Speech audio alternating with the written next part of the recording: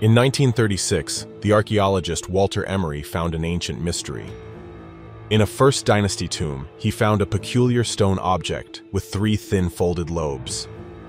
Was it a tool for making ropes? An impeller? Part of a jet turbine? An anti-gravity device? Let's dig into the evidence and see what holds up.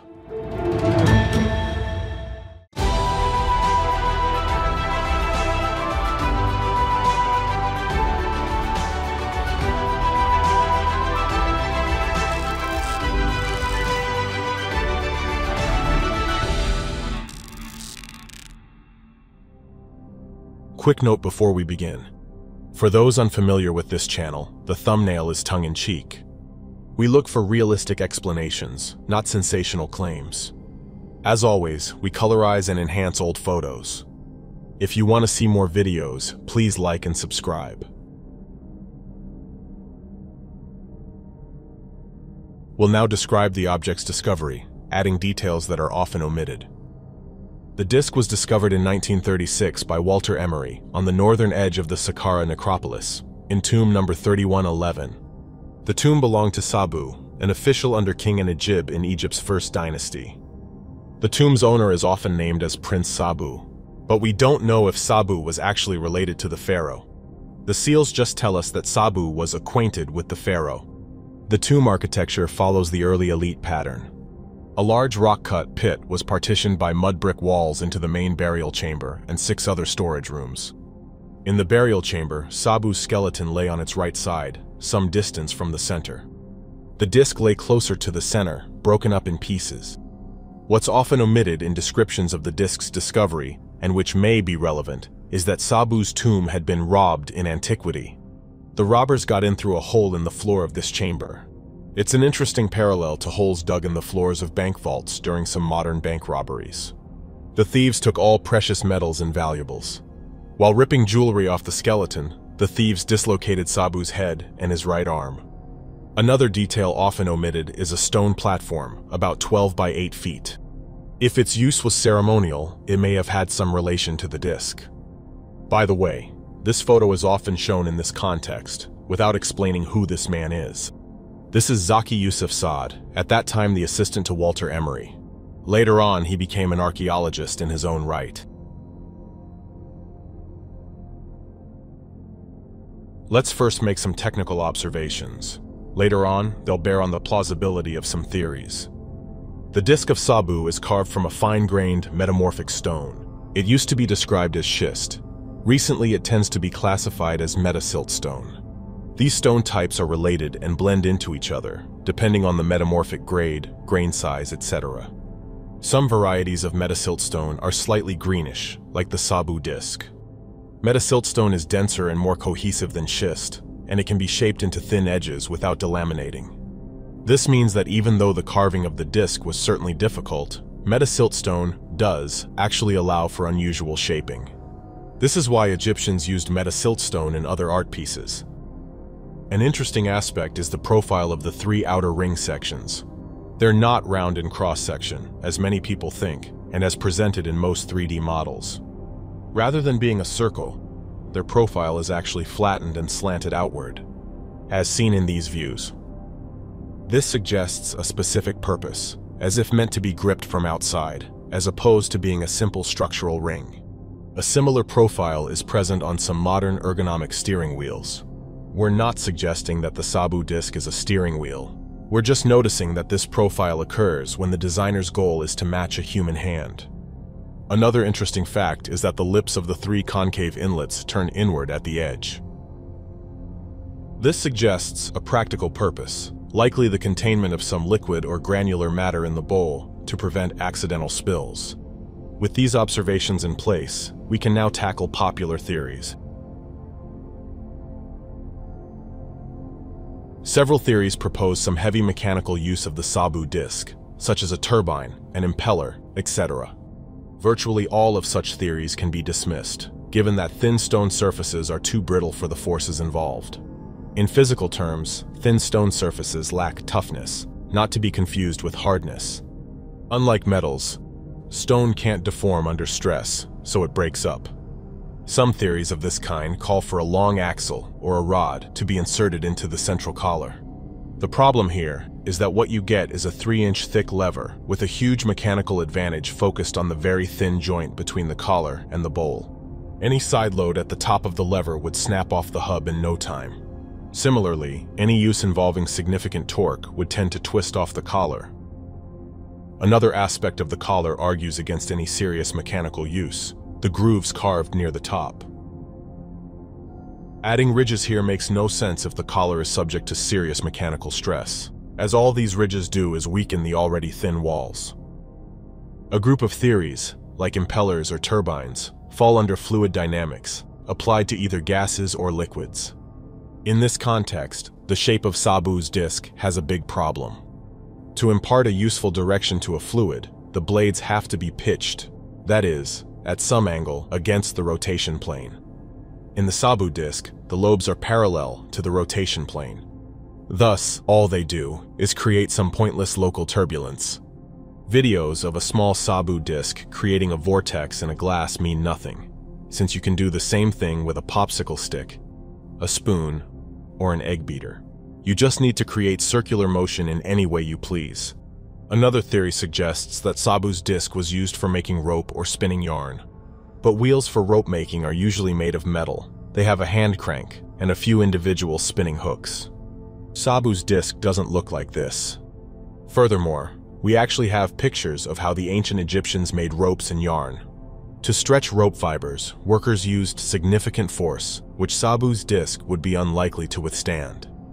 As far as spinning yarn, the spindle whorls were small, about two inches across. Again, nothing like the disc of Sabu. By the way, spindle whorls may date back to pre-dynastic times. This is yet another evidence that the idea of a disc spinning on an axle was known very early in Egypt, even if the wheel for transport was not used.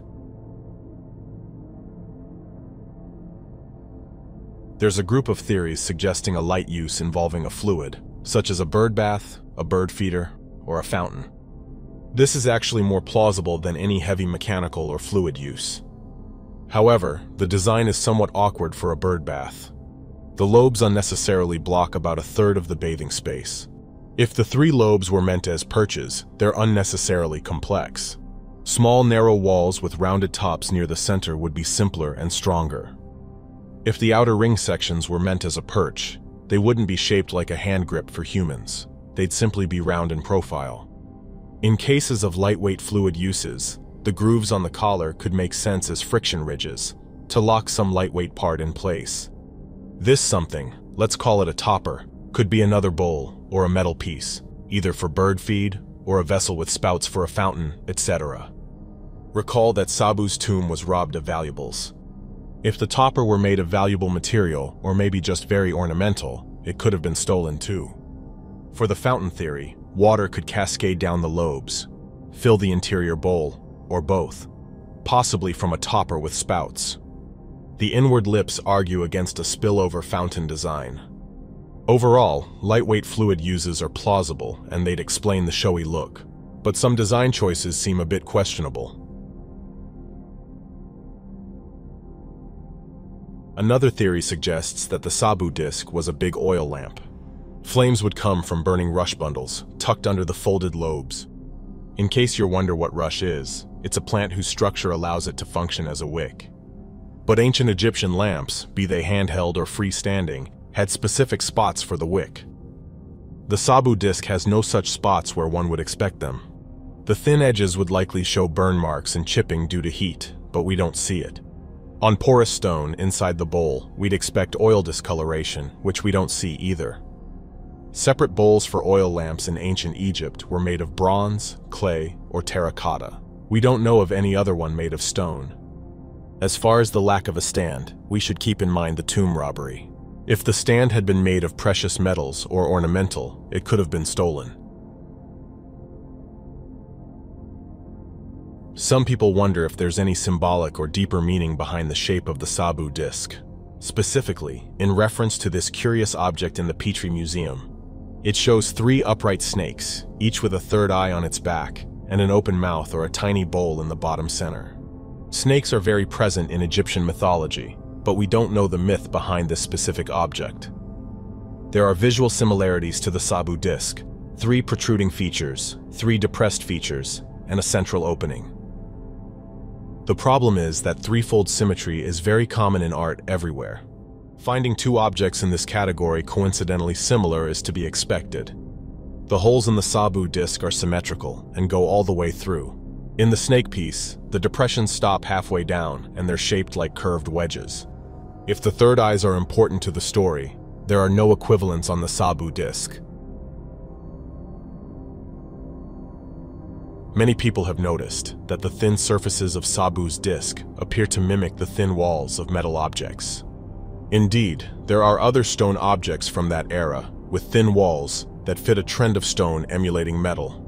One of the most famous ones in this category is this libation vessel, combining the Ankh and Ka hieroglyphs. Some stoneworkers took this mimicry even further, and even emulated metal rivets in stone. It seems that stoneworkers were trying to outcompete the increasingly more skilled metalworkers by creating metal-like designs in stone. It's as if stoneworkers were saying to metalworkers, we can do things in stone as thin as your metal objects. Metal wasn't the only material imitated in stone. Egyptian stoneworkers also replicated rolled-up reed mats, wickerwork, wood fences, baskets made of palm leaves, and even individual tree leaves. The apparent mimicry of metal objects by Sabu's disc led to other suggestions. Walter Emery and Cyril Aldred proposed that the Sabu disc may be a stone copy of some specific pre-existing metal object. It seems unlikely, and here's why. The form of Sabu's disc is impossible to make from a single sheet of metal, with the standard metalworking technique of cutting and hammering.